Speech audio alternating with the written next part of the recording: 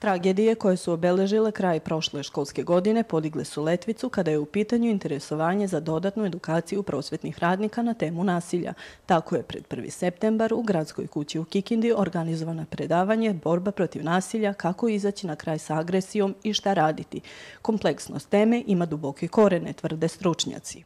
Prevencija vršnjačkog nasilja nije izolovana od prevencije ukupnog nasilja u društvu i da su u stvari deca samo naša refleksija, odraz našeg ponašanja, onoga što mi radimo, onoga kakve vrednosti mi promovišemo i ne samo promovišemo u smislu pričamo o njima, nego kakve vrednosti mi živimo.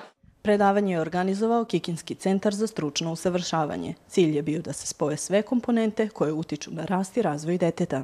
U tom magičnom trouglu uči, na, dete, roditelj, škola. Dete nam je na vrhu piramide.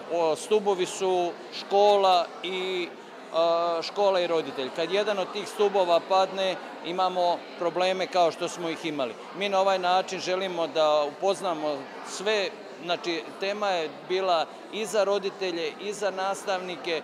Izreka kaže da je celo selo potrebno da bi se vaspitalo dete. Zbog toga odgovornost leži na društvenoj zajednici i svakom pojedincu. Deca jako dobro vide da mi jedno pričamo, drugo radimo, treće mislimo i u tom haosu onda oni nemaju pravac pravilan za odrastanje. I dok mi odrasli ne promenimo svoje ponašanje, veoma teško možemo da utičemo na decu.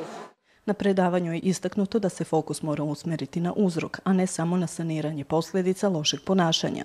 Problem vršnjačkog nasilja tako ostaje jedna od prioritetnih tema i za narednu školsku godinu.